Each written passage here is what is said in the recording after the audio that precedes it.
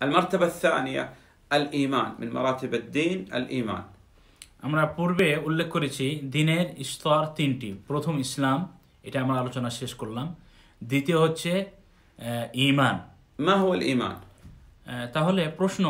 ঈমান কি قول باللسان لا إله إلا الله مثلا ঈমান হচ্ছে জিব্বা দিয়ে উচ্চারণ করা آه، واعتقاد بالقلب يعني هذا اللي يقول بلسانه يصدق ويعتقد ولا يشك في هذا طرفة عين ليس كالمنافق المنافق يقول بلسانه ولا يعتقد بقلبه نسأل الله العافية والسلامة তাহলে আহ, মুখে লা ইলাহ ইল্লাল্লাহ উচ্চারণ করবে এবং অন্তর দিয়ে তা বিশ্বাস করবে মুখে যা উচ্চারণ করলো অন্তরে তার সে পুরো বিশ্বাস থাকতে হবে যেন বিপরীত না হয় যেমন মুনাফেক সে মুখে বলে কিন্তু অন্তরে বিশ্বাস করে না এরকম হতে হবে না বরং তাকে মুখে যা সা উচ্চারণ করলো সেটি তার অন্তর দিয়ে দৃঢ় বিশ্বাস করলো نعم ويعمل بقلبه كالمحبة والخوف ويعمل بجوارحه كالصلاة مثلا এবং অনুরূপ সে অন্তর দিয়ে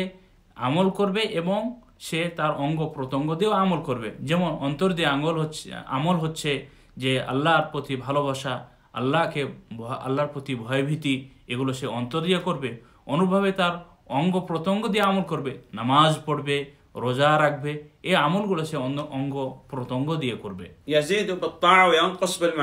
অনুরূপভাবে ইমান তার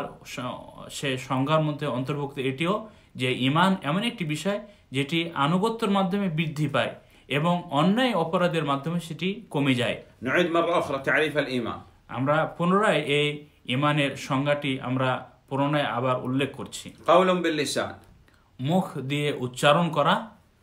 واعتقاد بالقلب অন্তর দিয়ে বিশ্বাস করা عمل القلب وعمل الجوارح এবং অন্তর ও অঙ্গ প্রত্যঙ্গের মাধ্যমে কার্য কার্যে পরিণত করা يزيد بالطاعة وينقص بالمعصية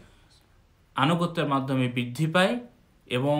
গুণা অপরাধের মাধ্যমে কমে আসে أركان الإيمان ستة والله أعلم আর ইমানের